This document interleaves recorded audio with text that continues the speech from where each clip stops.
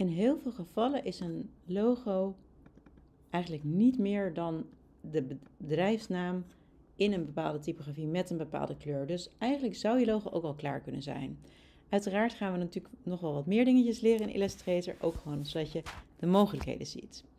Nou, wat je ziet is dat dit is tekst, maar we kunnen van een tekst ook een vorm maken. Dat kan ik het best gewoon even laten zien. Als je een tekst selecteert, dus gewoon één keer aanklikken met het zwarte selectiepijltje, dan ga je naar tekst. Dan heb je daar staan letter omtrekken maken. En je hebt ook een sneltoets van Shift O, maar omdat je dit waarschijnlijk niet iedere week doet, is het hier makkelijker om het menu te gebruiken. Nou, wat doet Illustrator dan? Die maakt nu, in plaats van dat het tekst is die je kan aanpassen, ik kan er, ook, ja, kan er wel op dubbelklikken, maar dan ga ik niet de tekst meer aanpassen, maakt hij er echt vormpjes van, net als je bijvoorbeeld een cirkel hebt. Dus dat betekent dat ik met dat witte pijltje ook een enkel punt kan aanpakken van zo'n vorm, als ik bijvoorbeeld een vorm zou willen aanpassen. Dus ik zou bijvoorbeeld de, ja, eigenlijk de pons, dat noem je, zo noem je dat, de witruimte in de O kunnen weggooien. Als ik denk, nou, dat vind ik eigenlijk wat leuker staan. Dus je kan nu gewoon iedere letter apart aanpassen.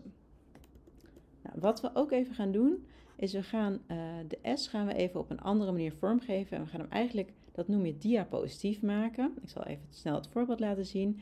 We gaan hem eigenlijk uit een cirkel happen als het ware. En daarvoor moet je er dus eerst ook letteromtrekken van maken. Nou, hoe werkt dat? Ik ga eerst eens even een cirkel maken en ik kies even een andere kleur, want anders uh, zie ik ook niet echt wat ik aan het doen ben. En die cirkel, die, daarbij hou ik ook weer even de shift ingedrukt. Nou, de cirkel wil ik even om hem goed te positioneren onder de S en hij staat er nu bovenop. En daarvoor gebruik je je rechtermuisknop, dus ook weer even tussendoor het zwarte pijltje. En dan heb je ergens staan ordenen. In het Engels is dat arrange. En dan kan je hem helemaal naar de achtergrond doen. Dan zit hij gewoon helemaal eronder. Wat Illustrator dus doet, is hij. Ik werk nu eigenlijk helemaal niet. Ik werk gewoon in één laag, in dezelfde laag steeds. Omdat ik niet ontzettend veel dingen heb. Uh, maar hij maakt eigenlijk een soort mini-laagjes voor zichzelf. En jij kan die ook gewoon zelf op een andere plek zetten. Nou, wat ik ga doen, ik ga hem net ietsjes kleiner maken dan deze S.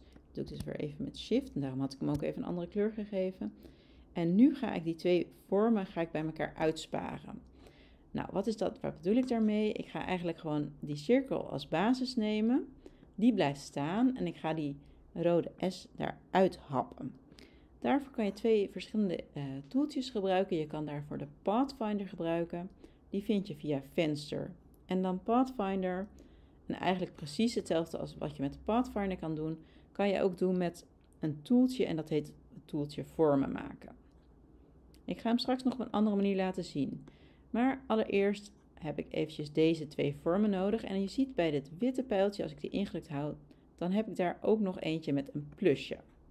En op die manier kan ik deze twee vormen samen selecteren. Dus ik ga over die S en dat rondje heen, maar ik zorg dat ik mijn O die hier heb staan niet heb geselecteerd. Als ik van de Pathfinder het tweede icoontje doe, dan zie je wat er nu gebeurt. Dus hij hapt die S echt uit mijn cirkel. Nou, ik vind hem nu nog niet helemaal perfect mooi en ik vind het niet zo mooi dat de O er tegenaan staat. Dus ik ga ook weer met dat witte pijltje met de plus, dus de groep selecteren. Dan kan ik namelijk niet per ongeluk een enkel uh, punt selecteren. Uh, selecteer ik de alles behalve de S eigenlijk. En die ga ik een heel klein beetje opschuiven. En als je de shift ingedrukt houdt, dan blijft hij ook precies op de goede regel. En als je gewoon rustig schuift, dan gaat dat ook goed. Dus op die manier kan ik ook een klein stukje verplaatsen. En nu heb ik het witte pijltje nodig met, nou eigenlijk zonder het plusje. Want daarmee kan je enkele punten aanpassen. Dus bijvoorbeeld dit punt. Ik ga eens even kijken wat er gebeurt als ik die gewoon weggooi met delete. Nou, dan heb ik hier een iets groter gat, maar ik vind dit een beetje een te klein dingetje. Dus op die manier heb ik eigenlijk net eventjes iets minder dat echte kleine puntje. Dus je kan een enkel punt weggooien. Maar je moet er wel voorzichtig mee zijn, want als ik dit punt weggooi, ik zal het even voor de grap doen. Ik doe deze twee even samen. Kijk, dan heb ik hier een te groot gat, dus dan zie je niet meer dat het een S is. Ik doe even Command Z of Ctrl Z, daarmee ga je een stap terug. Wat je wel kan doen is, als je hebt hier een klein kroompennetje, als je die ingedrukt houdt, dan zie je ook ankerpunt toevoegen.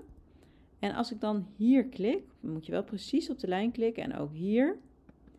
Dan heb ik eigenlijk een stukje toegevoegd, zodat als ik nu deze punten weggooi, ik zal van delete doen, een delete.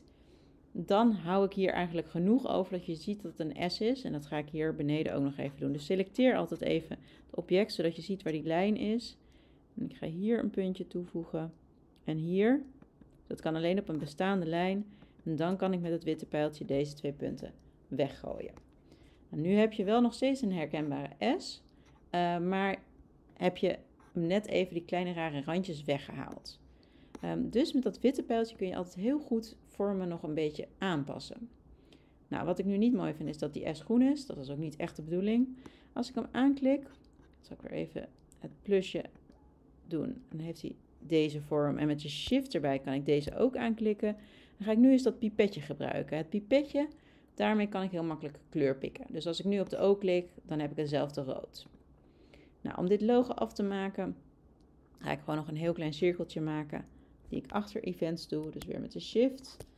Uh, en dan heb je eigenlijk al met een aantal simpele tools, uh, zoals de Pathfinder en het witte pijltje om uh, dingen te vervormen, heb je eigenlijk al een logo. Ik ga straks nog wat andere dingen laten zien, maar dit is alvast een techniek die je kan gebruiken. En ga altijd op zoek naar hoe je de dingen bij elkaar zet. Dus soms kan het leuk zijn om het een beetje te laten overlappen of juist wat meer ruimte te geven. Uh, soms wil je het er tegenaan zetten, vaak wil je het laten lijnen, dus waar de L eindigt, dat de S daar ook eindigt. En dat zijn allemaal keuzes. Ga daar gewoon vooral ook mee experimenteren en uitproberen, net zolang dat je denkt, nou, ik kan het nog wel lezen, maar het is wel duidelijk een logo en niet alleen maar een tekst meer.